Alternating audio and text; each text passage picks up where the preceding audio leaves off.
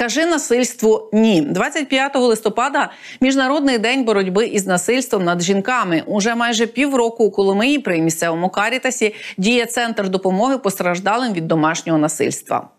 То куди і до кого звертатися, якщо ви стали жертвою фізичного, економічного, психологічного чи сексуального насилля, розповімо у сюжеті. Міжнародний день боротьби з насиллям проти жінок відзначають у всьому світі 25 листопада. Таку резолюцію ще у 1999 році оголосила Генеральна асамблея ООН. Відтоді цього дня активісти у всьому світі виступають, аби зупинити гендерне насильство. Однак це проблема не одного дня.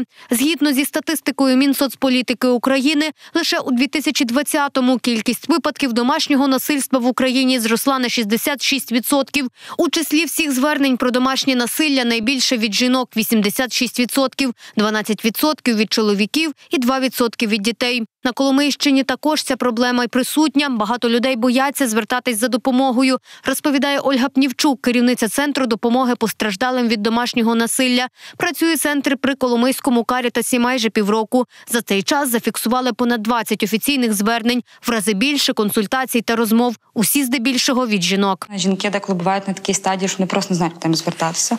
Вони розуміють, що їм е, не допоможуть, чи е, не допоможе навіть і поліція інколи, так? Бо це дуже часті звернення. Якщо ми хочемо забезпечити максимум безпеки, в першу чергу цим дітям жінці, ну їхньому моральному такому стану, психологічному, так ми їх можемо у нас тимчасово перетримати день, два, три, а далі перенаправляти, якщо вона е, не вирішить повертатися додому. Співпрацює Коломийський карітас з понад 20 притулками для жінок, які опинились у складних обставинах. Продовжує Ольга Пнівчук. Окрім того, надають соціальний, психологічний та юридичний супровід, можуть допомогти продуктами і засобами гігієни. Вони можуть прийти до нас, написати заяву і в нас отримати консультацію юридичні, юридичний супровід. Адвокат е, і наш юрист може з ними допомогти написати заяву на елементи, подати на розірвання шлюбу чи ще якісь ось такі речі.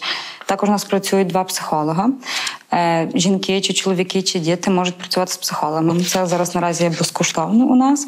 Тобто такий е, психологічний супровід. Нема такого там один, два чи декілька разів. Ну може це бути навіть місяцями. По декілька разів в тиждень можуть бути такі зустрічі. Так само і з дітьми може працювати інший психолог дитячий. Випадки насилля бувають різні. Мова не лише про фізичну кривду. В нашому суспільстві більш людей прийнято думати, що е, домашнє насилля це тільки фізичні побої. На жаль, це не так. Буває, що знущаються, ображають, не дозволяють вчитися, чи йти на роботу, обмежують в чомусь з ким дружити, з ким розмовляти. Ну це такі, до речі, воно саме таке е, розповсюджений психологічний вид насилля. Так само економічний вид насилля.